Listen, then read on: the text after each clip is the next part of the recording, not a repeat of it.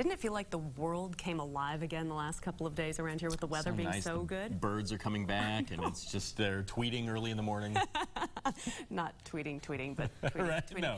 Anyway, some of the other parts of the country not having our kind of weather over the last couple of days. That certainly is true, and it feels like the bad part of spring has arrived too early. Let's check in with Scott. We're talking tornadoes, of course. Yeah, you know, the weather pattern got really active pretty early, or I should say the storm systems are driving down to the south a little earlier than than, uh, usual, and that's causing us a, a lot of issues here as far as the tornado season goes. I want to show you generally what's been going on. We'll get to some tornado stats as well.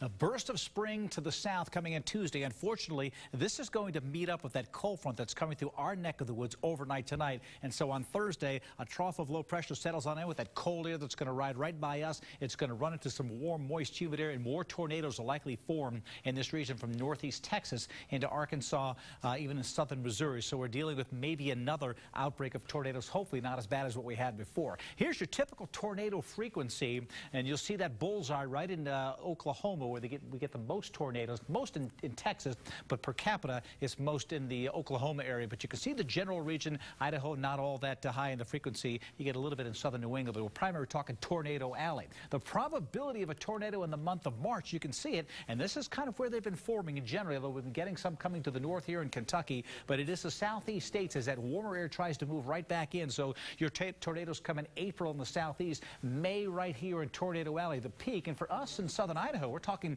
June and July, even April and May to the west, but it's more July and even August that we have some of our worst tornadoes or worst weather in the northwest. So the average forward speed of a tornado is 30 miles an hour. It can be from not even moving to up to 70 miles per hour. Many of those storms are moving very rapidly as they were going through uh, the northeast. And this is the amazing part right here. You talk about the strength of the tornadoes. Those F4s and F5s you hear about, the extreme tornadoes, only 1% of all tornadoes are in that category. 79% you see right here, or 90, I should say 99% uh, are are F0 to F3. So again, we're talking about only a small percentage, and we had a couple F4s out there just the other day on Friday. So unfortunately, we'll hopefully not get any more of those coming Let's up hope. as we have that next system coming on in. Well, hopefully the percentages are correct. Yeah, absolutely. All right, thanks, Scott.